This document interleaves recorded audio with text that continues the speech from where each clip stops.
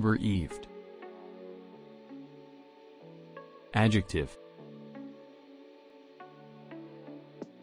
Deprived of a close relation or friend through their death. Use in a sentence.